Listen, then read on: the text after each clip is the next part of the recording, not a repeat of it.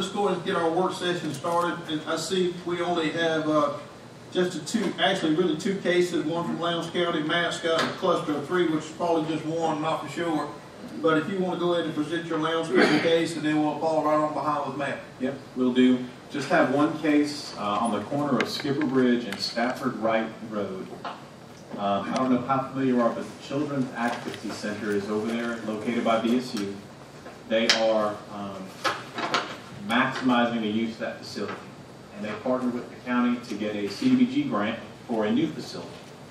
That grant was funded, um, and the predication was they would build a new facility, and this was the property that was now they've gotten to a point where they think they are ready and that the grant was funded. They're coming forward for rezoning so they can hopefully start construction of the facility on this property. It's currently zoned RA. Um, it's undeveloped. They just uh, harvested some trees in the area. You've got a residence, probably, I thought it was 250, 300 feet to the north.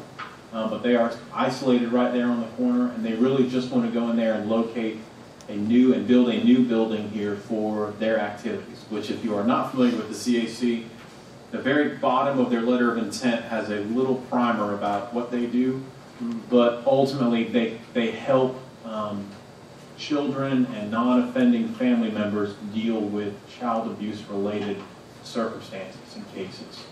Um, very challenging work, very difficult work, but ultimately they're here because they think that this property donation is going to be a good fit for them because not only do they work in Lowndes County, they work in the region as well. So recommended approval, you know, no conditions, nothing to report here. We're still listening out. The signs should go up probably tomorrow on the property to advertise the county commission hearing, but, you know, nothing to report on this one right now. Got water and sewer on the property? They will be serving it with wa, with county sewer, but water is a little bit further away and they're gonna try to use an individual well, is the plans right now. Staff Drive, is that on the, the schedule to be paid? It is. Um, they just approved kind of plans for that, literally at the last meeting. Paving should be, you know, twelve to eighteen months out, Before they start, before they finish. before they finish Yeah. something? Like open to traffic, twelve to eighteen months.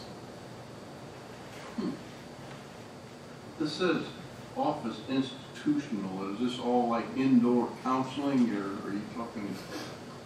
I believe, I haven't seen the final plans, it wouldn't surprise me if they have a small playground, small kind of recreation area, I but was just curious, I'm not familiar with the terms of that. Yes, sir. It- To me, that's the lowest zoning we felt like they could use for that property without going into a commercial type of zoning. Um, so mainly they, you know, they fit into office institutional. I will verify to see if they're gonna do some kind of outdoor play yard. Would not surprise me, like a daycare, which you might see as daycare, but I don't believe they currently have it at their office now, so. There's no buildings around it anyway. No, no, sir, it's uh, completely undeveloped property right now. They just harvested the trees and not sure of the developer's future plans, they're just the ones who approached CAC and said, we would be potentially interested in donating you about an acre if you would take it, and the CAC accepted their offer, obviously contingent on rezoning. Is that part of the development of the state? It is, it is. The LLC is like a JEV duck pond, but so far the signatories have been a volatile name. Any other questions for staff on that?